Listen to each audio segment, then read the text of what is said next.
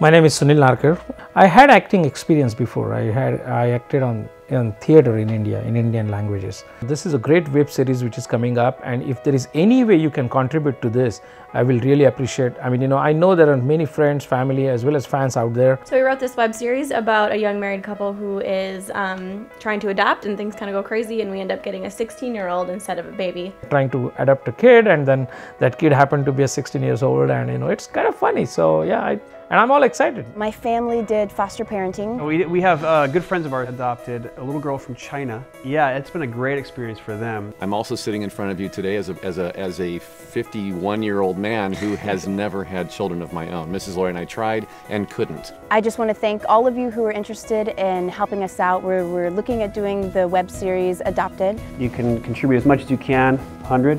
How much you going to contribute, buddy? 100 adoption is a big thing and you know if you can support this kind of cause i will really appreciate. So get your wallets out and try to help us and you know uh, to this series of adoption. Thank you